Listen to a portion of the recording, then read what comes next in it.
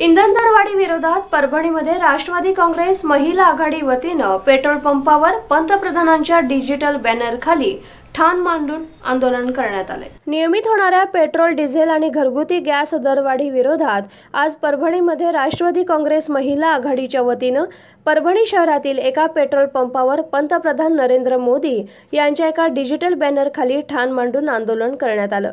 यावेळी राष्ट्रवादीच्या महिला कार्यकर्त्यांनी मोदींच्या बॅनरखाली उभं राहून इंधन दरवाढ कमी करण्याची मागणी केली. मोदी सरकारच्या विरोधात घोषणाबाजी देखील करण्यात आली आहे.